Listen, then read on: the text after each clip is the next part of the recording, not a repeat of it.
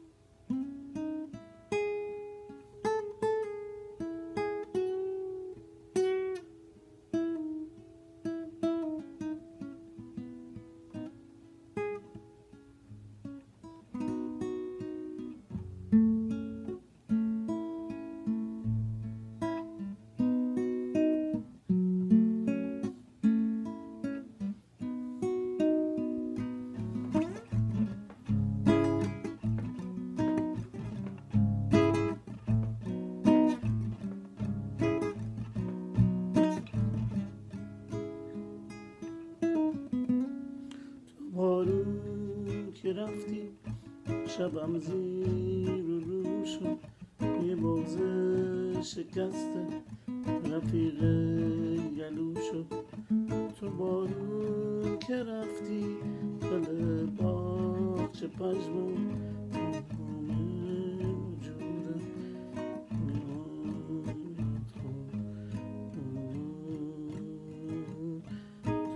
داره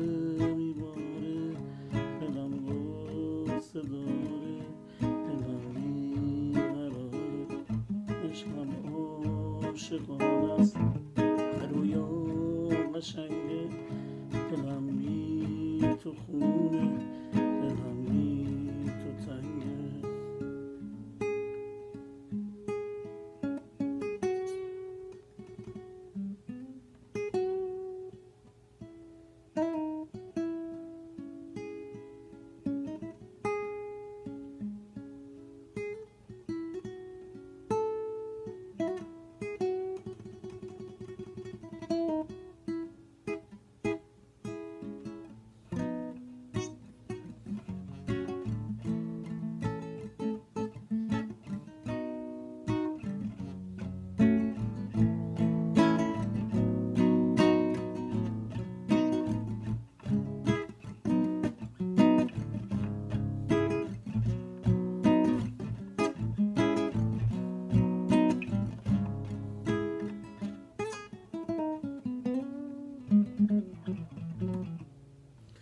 هر صورت آنگه باش زدیم و نتونیم همش بخونیم باش ولی کن فکر می‌کنم قلقش قلقش دستتون اومده و انشالله یادش می‌گیرید. و من اکورداش هم نوشتم یه عکس می‌گیرم می‌زنم تو تلگرام که تمرین کنید باش و یاد بگیرید. متشکرم گوش کردید.